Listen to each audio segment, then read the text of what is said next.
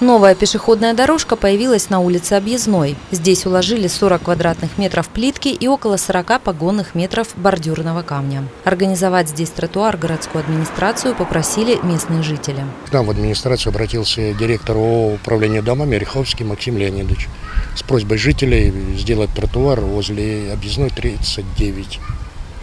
Ну, работы были начаны 5 дней назад.